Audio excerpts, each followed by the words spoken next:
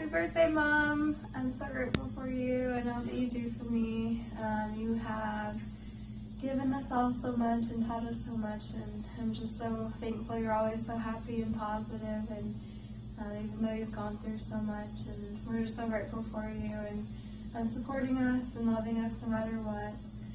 Um, some of my favorite memories of you are just going on shopping trips and vacations and just being able to spend time together and especially getting advice from you and um, all the kind things you say. And I will never forget the times where you were in the hospital and especially the nights that I got to stay with you by myself when Dad went and showered. And I'm just grateful for those moments when even though you weren't able to communicate, you were there in spirit and I'm grateful for that. And um, you've strengthened my testimony a ton with the experiences you've gone through and I know that I'll be able to carry that with me whenever I go through a hard time so I'm grateful for you and I hope you have an amazing day.